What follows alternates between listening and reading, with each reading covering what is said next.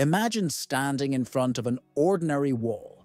You reach out your hand and try to pass through it. But of course, you can't. You stop, just like always. But physics tells us something strange. The atoms that make up your hand and the atoms in that wall are mostly empty space. If we enlarged an atom to the size of a football stadium, its nucleus would be the size of a ball in the center of the field, and the rest would be empty. So if everything is almost empty, why can't we pass through each other like ghosts? This question sounds like a riddle from a science fiction movie, but the answer lies in the very nature of reality and the laws of physics. Let's start with the basics. Atoms are indeed mostly empty space.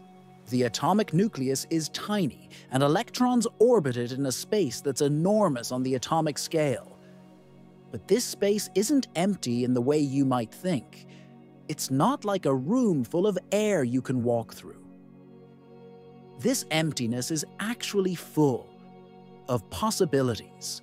Electrons form what we call an electron cloud around the nucleus, they aren't little balls orbiting like planets around the Sun.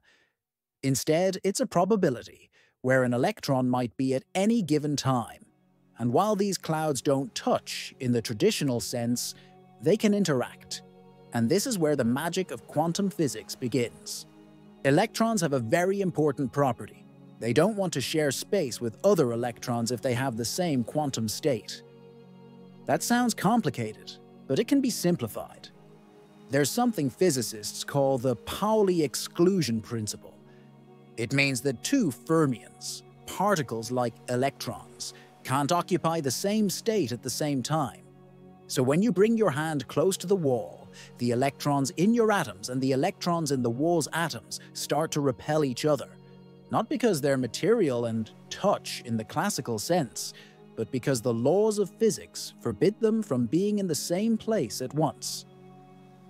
It's a bit like trying to reserve a seat in a theater that's already taken.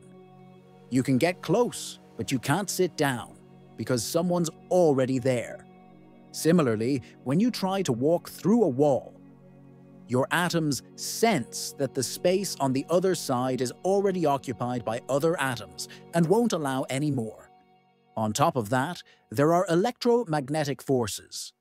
Electrons have a negative charge and repel each other, when you try to touch a wall, your atoms never actually come into direct contact with its atoms.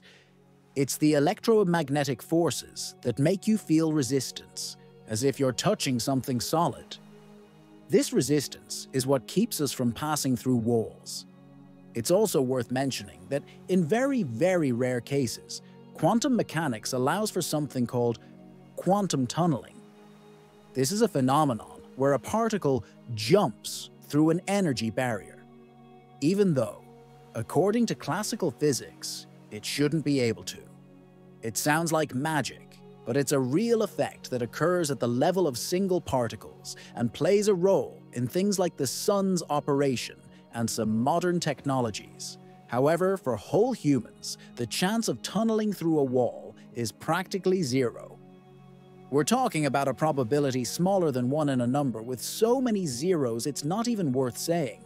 So, even though atoms are mostly empty space, the world doesn't fall apart beneath our feet, and we don't pass through everything around us. It's the combination of the Pauli exclusion principle, electromagnetic forces, and the quantum nature of particles that holds us together, and at the same time separates us from the wall.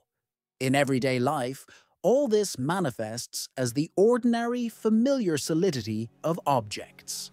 The desk you lean your elbow on, the door you push, or that wall you can't walk through. Though made of empty atoms, their quantum level interactions create the solidity we know. And we, though mostly made of empty space, are very real and very impenetrable. So, if you ever look at a wall and think that it's all mostly nothing, remember that nothing really works, and in a way that's fascinating, going far beyond our everyday experience. It's one of those cases where physics shows us how extraordinary the world is, even if it seems ordinary at first glance. If this topic intrigued you, and you want to keep discovering how our reality works, be sure to subscribe to the channel, leave a like, and share this video with someone who's also tried to walk through a wall, even if only in their imagination.